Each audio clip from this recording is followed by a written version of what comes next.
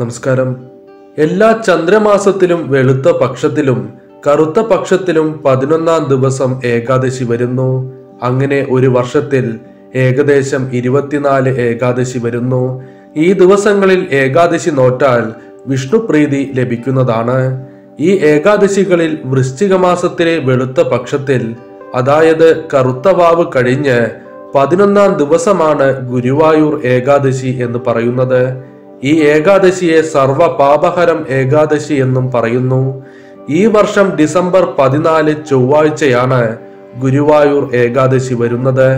ഈ വീഡിയോയിലൂടെ ഗുരുവായൂർ ഏകാദശി വ്രതം എപ്രകാരം ശരിയായി അനുഷ്ഠിക്കാം എന്നും ഗുണങ്ങളെക്കുറിച്ചും ഐതിഹ്യത്തെക്കുറിച്ചും ഈ വീഡിയോയിലൂടെ മനസ്സിലാക്കാം.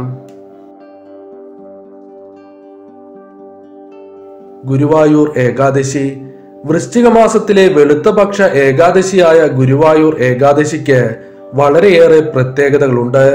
ഈ ദിവസമാണ് ശങ്കരാചാര്യർ ഗുരുവായൂരിലെത്തി നാം ഇന്ന് ക്ഷേത്രത്തിൽ നടക്കുന്ന പൂജാവിധികൾ പറഞ്ഞു കൊടുക്കുന്നത്. ഈ ദിവസമാണ് പ്രതിഷ്ഠാദിനമായി ആഘോഷിക്കുന്നതും. ഏകാദശി ദിവസം വിഷ്ണു ഭഗവാൻ ഗുരുവായൂരിലേക്ക് എത്തുന്നു കൂടെ സകല ദേവീദേവന്മാരും കൂടെ ഉണ്ടാവുന്നു. ഈ ദിവസം മഹാവിഷ്ണു തന്റെ യോഗനിദ്രയിൽ നിന്നും ഉണർന്ന് തന്റെ ഭക്തർക്ക് അനുഗ്രഹം ചൊരിയുന്ന ദിവസമാണ് ഈ ഏകാദശി ദിവസം. കൂടാതെ ഗീതാ ദിനമായും ചെമ്പെ സംഗീതോത്സവവും ഈ ഏകാദശിക്ക് മുന്നോടിയായി ആരംഭിക്കുന്നു. ഇപ്രകാരം ഗുരുവായൂരിലെ സകല ചരാചരങ്ങളിലും ഭഗവത് സാന്നിധ്യം നമുക്ക് ദർശിക്കുവാൻ സാധിക്കുന്നു. വ്രതം ഏകാദശി വ്രതം മൂന്ന് നാളുകളിലായാണ് എടുക്കേണ്ടത്. എന്നാൽ ചിലർ ഒറ്റ ദിവസം മാത്രം എടുക്കുന്നു. മൂന്ന് ദിവസങ്ങൾ എന്ന് പറയുന്നത് ഏകാദശി ഏകാദശിയുടെ തലേ ദിവസമായ ദശമി ഏകാദശിയുടെ പിറ്റേ ദിവസമായ ദ്വാദശി എന്നീ ദിവസങ്ങളിലും വ്രതം എടുക്കേണ്ടതാണ്.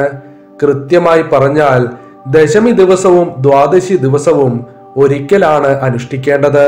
കൂടാതെ ഏകാദശി ദിവസം പൂർണമായും ആഹാരം കഴിക്കാതെ നോക്കണം. എന്നാൽ ഈ പറഞ്ഞതിൽ നിന്നും ചില വ്യത്യാസങ്ങൾ വരുത്തി വ്രതം അനുഷ്ഠിക്കാൻ പറ്റുന്നു. അത് എങ്ങനെയാണ് എന്ന് ഇനി മനസ്സിലാക്കാം. ദശമി ദിവസം. ഏകാദശി ദിവസത്തെ തലേ ദിവസമായ ദശമി നാളിൽ ഒരിക്കലാണ് അനുഷ്ഠിക്കേണ്ടത്. ഒരു നേരം അരിയാഹാരം കഴിക്കണം.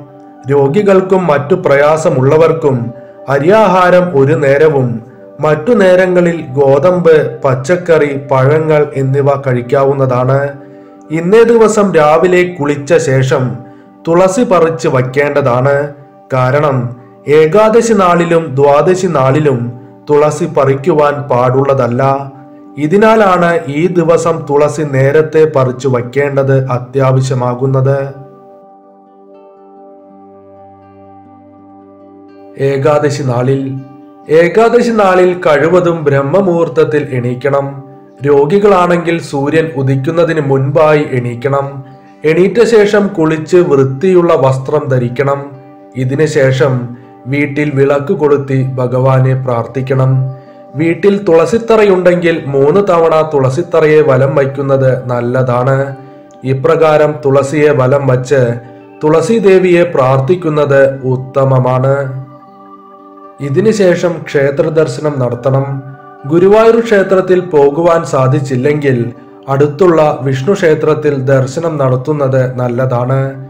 എന്നാൽ ക്ഷേത്ര ദർശനം നടത്തുവാൻ സാധ്യമായില്ലെങ്കിൽ വീട്ടിൽ ഭഗവാനെ പ്രാർത്ഥിച്ച് ഭഗവാന്റെ നാമങ്ങൾ ജപിക്കുന്നത് ഉത്തമമാണ്. ക്ഷേത്ര ദർശനം നടത്തുമ്പോൾ നാല് പ്രദക്ഷിണം വയ്ക്കണം.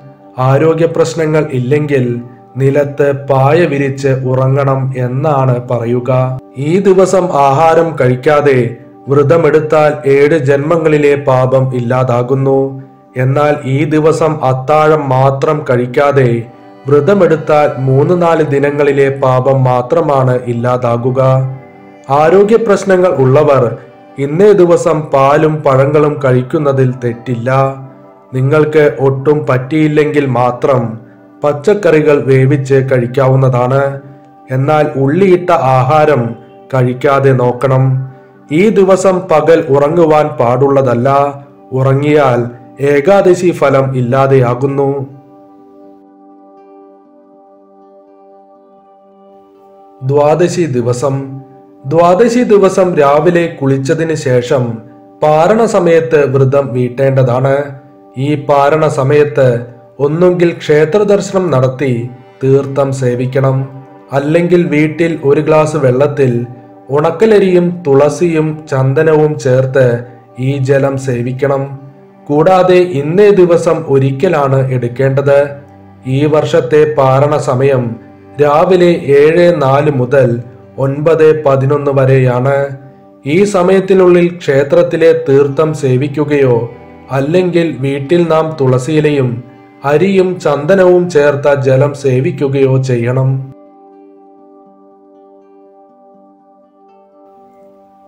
ഹരിവാസര സമയം ഏകാദശി നാളിലെ അവസാന പതിനഞ്ച് നാഴികയും ദ്വാദശി നാളിലെ ആദ്യ പതിനഞ്ച് നാഴികയുമാണ് ഹരിവാസര സമയം എന്ന് പറയുന്നത്.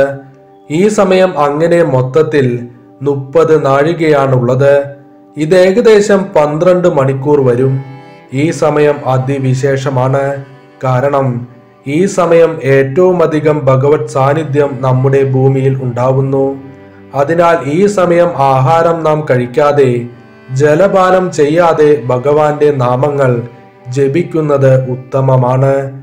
ഈ വർഷം ഹരിവാസര സമയം ഡിസംബർ പതിനാല് വൈകിട്ട് അഞ്ചര മുതൽ പിറ്റേ ദിവസം ഡിസംബർ പതിനഞ്ച് രാവിലെ ആറ് പത്ത് വരെയാണ്. ഐതിഹ്യം. ഗുരുവായൂർ ഏകാദശിയെ മോക്ഷത ഏകാദശി എന്നും പറയുന്നു. ബ്രഹ്മവൈവർത്ത പുരാണങ്ങളിൽ ശ്രീകൃഷ്ണ ഭഗവാൻ യുധിഷ്ഠിരനോട് ഓരോ ഏകാദശിയുടെ മഹാത്മ്യം വർണിക്കുന്നു. ബ്രഹ്മവൈവർത്തന പുരാണ പ്രകാരം ചബക രാജ്യത്തിന്റെ രാജാവായിരുന്ന വൈകാസ ഒരു വലിയ വിഷ്ണുഭക്തനായിരുന്നു. അദ്ദേഹത്തിന് ഒരിക്കൽ സ്വപ്നത്തിൽ തന്റെ പിതാവ് നരകത്തിൽ പീഡനങ്ങൾ അനുഭവിക്കുന്നതായി കണ്ടു. ഇതിൽ ദുഃഖിതനായ അദ്ദേഹം മഹാജ്ഞാനിയായ പർവതമുനിയെ ചെന്ന് കണ്ടു. അപ്പോൾ പർവതമുനി പറഞ്ഞു രാജാവിന്റെ പിതാവ് വലിയ പാപങ്ങൾ ജീവിച്ചിരിക്കുമ്പോൾ ചെയ്തിരുന്നു. അതിനാൽ അദ്ദേഹം നരകത്തിൽ ശിക്ഷ അനുഭവിക്കുകയാണ്. തന്റെ പിതാവിനെ ഇതിൽ നിന്നും മുക്തനാക്കാനുള്ള വഴി രാജാവ് മുനിയോട് ചോദിച്ചു. അപ്പോൾ മാർഗശീർഷ മാസത്തിലെ വെളുത്ത പക്ഷ ഏകാദശിയായ മോക്ഷത ഏകാദശി അനുഷ്ഠിച്ചാൽ തന്റെ പിതാവിനെ നരകത്തിൽ നിന്നും മുക്തനാക്കാൻ സാധിക്കുമെന്ന് പർവതമുനി രാജാവിനോട് പറഞ്ഞു. ഇപ്രകാരം ഈ ഏകാദശി നാം അനുഷ്ഠിച്ചാൽ മോക്ഷം ലഭിക്കുകയും മരണശേഷം വിഷ്ണു ഭഗവാന്റെ പാദങ്ങളിൽ ലയിക്കുകയും ചെയ്യുന്നു. ഗുണങ്ങൾ. ഗുരുവായൂർ ഏകാദശി നാം അനുഷ്ഠിച്ചാൽ പല ഗുണങ്ങളും നമുക്ക് വന്നു ചേരുന്നു. അവ ഏതെല്ലാമാണ് എന്ന് ഇനി മനസ്സിലാക്കാം. ഈ ഏകാദശി നോറ്റാൽ ഏഴ് ജന്മങ്ങളിലെ പാപം ഇല്ലാതാകുന്നു.